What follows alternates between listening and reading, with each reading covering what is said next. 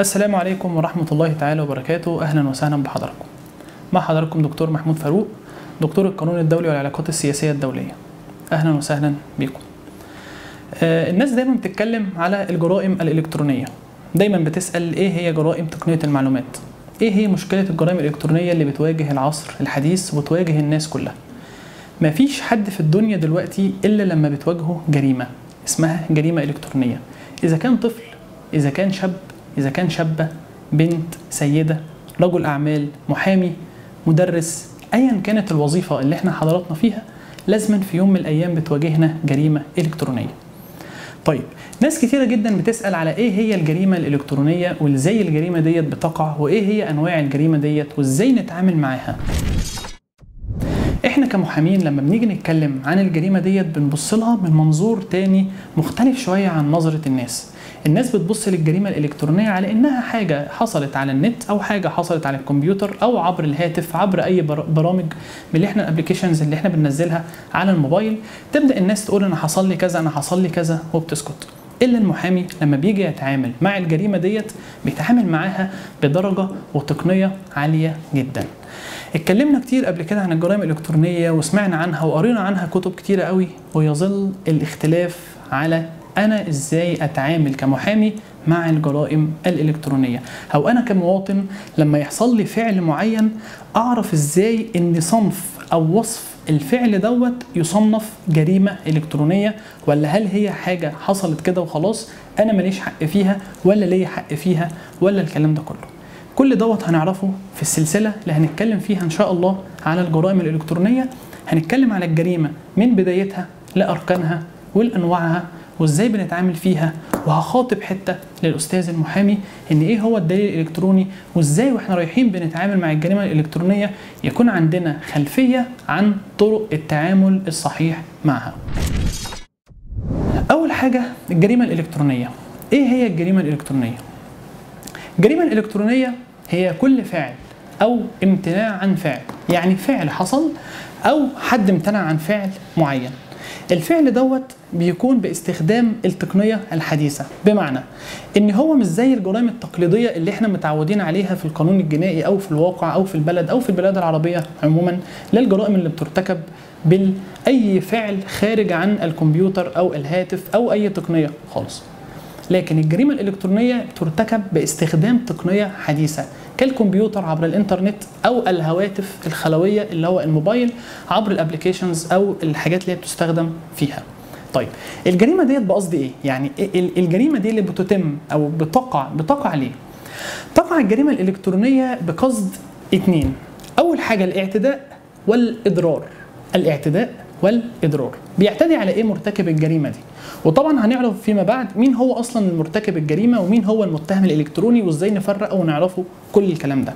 أول حاجة ترتكب الجريمة الإلكترونية بقصد الاعتداء على حق أو مصلحة أو بيانات أو معلومات يحميها القانون. حق أو مصلحة أو بيانات أو معلومات يحميها القانون. وبقصد الإضرار بالأجهزة والأنظمة والشبكات. إيه اللي أنت بتقوله ده؟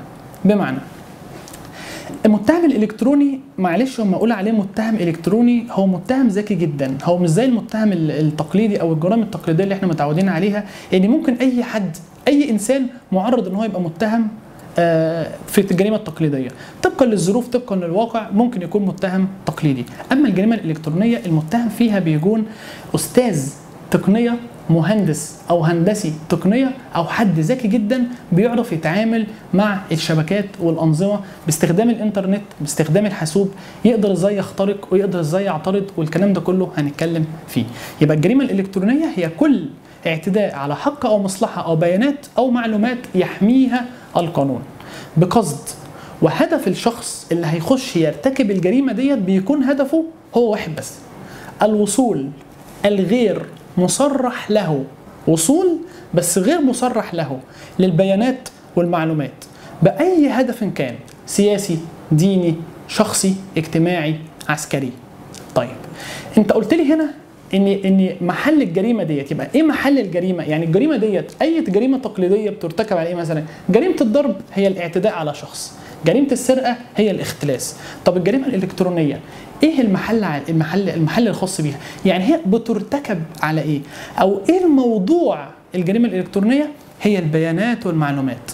البيانات والمعلومات.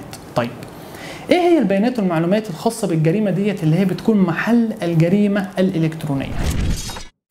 أول حاجة البيانات قسموها علماء.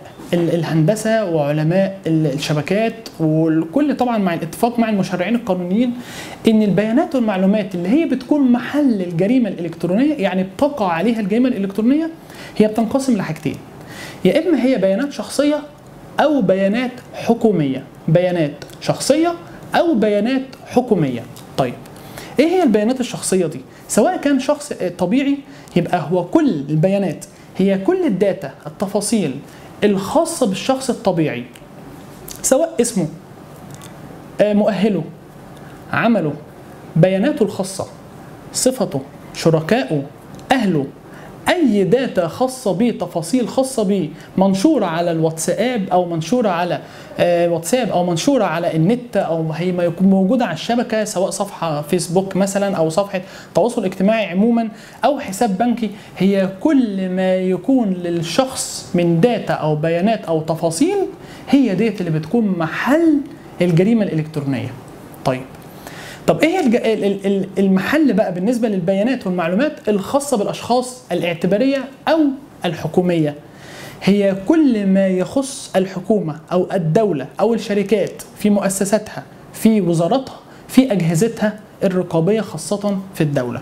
وبالنسبة للشركات الاعتبارية هي كل ما يخص من التفاصيل الخاصة بالشخص الاعتباري من بداية مجلس الإدارة لكل البرامج المخصصة لكل قسم جوه زي برامج ال- البرامج المحاسبية البرامج القانونية برامج الحجز برامج العقود. كل شركة وليها برامج هي بتمشي عليها معينة البرامج ديت هي دي البيانات والمعلومات اللي بتكون خاصة أو بتكون محل جريمة إلكترونية. يبقى محل الجريمة الإلكترونية هي البيانات والمعلومات. إيه هي البيانات والمعلومات؟ اللي هي لو لو وقع عليها الجريمة نقدر نقول عليها جريمة إلكترونية. هي كل تفاصيل خاصة بالشخص سواء كان شخص طبيعي اسمه مؤهله عمله كل ما يخص به كل أقاربه كل شركائه كل ما يخ... كل ما يملكه عن طريق الشبكات ال- المعلوماتية. ولو كانت شركة أو شخص معنوي خاص هي كل البرامج والخاصه بيها أو كل الأجهزة الخاصة بيها اللي بتمشي عليها الشركة ديت من جوه نظامها الداخلي. لو كانت بيانات أو معلومات حكومية هي كل ما يخص الدولة من بيانات خاصة بأجهزتها الرقابية ووزاراتها ومؤسساتها سواء كانت العامة أو المؤسسات القابضة أو كل مؤسسات الدولة. طيب عرفنا دلوقتي إن الجريمة الإلكترونية تعرفها مفصلة ودلوقتي معروفين خلاص إيه هو محل الجريمة هي البيانات والمعلومات. طيب أداة الجريمة بمعنى إمتى إني أنا أقدر أقول إن دي خلاص أصبحت قدامي جريمة إلكترونية قدامي البيانات والمعلومات طيب إمتى أقول إن الجريمة وقعت؟ عندما يحدث تقنية للمعلومات. عندما يحدث تقنية المعلومات. طيب يعني إيه؟ يعني الشخص اللي هيدخل يطلع على ال ال- البيانات والمعلومات اللي حكينا عليها من شوية دي اللي سواء خاصة بالشخص الطبيعي أو الشخص الاعتباري الخاص أو أشخاص الدولة أو الشخص اللي هو الدولة مثلا وكل الأجهزة الرقابية أو الوزارات أو المؤسسات الخاصة بالدولة لازما علشان نقول إن هو دخل عمل جريمة معينة لازما يكون قدامه لازما يكون بيقوم بفعل يسمى تقنية المعلومات. إيه هي بقى تقنية المعلومات؟ التقنية ديت هي كل فعل تقني يعني هندسي سواء كلي أو جزئي. بيكون هدفه. يا إما نقل نسخ تعديل نشر محو إرسال إزالة للبيانات والمعلومات.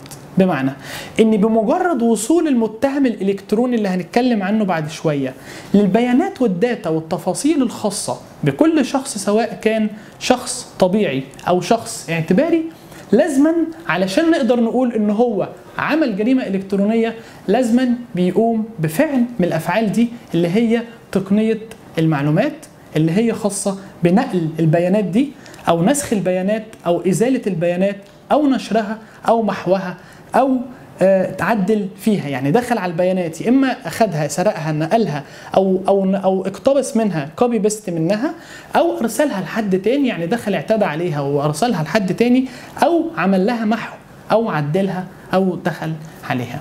هندخل في الحلقة القادمة وهنتكلم فيها لحد دلوقتي إحنا عرفنا تعريف الجريمة الإلكترونية ووسائلها أو طرق ال- ال- ال- المحل الجريمة في الحلقة القادمة هنتكلم على مين هو بقى المتهم الإلكتروني وإزاي بيقوم بتقنية المعلومات.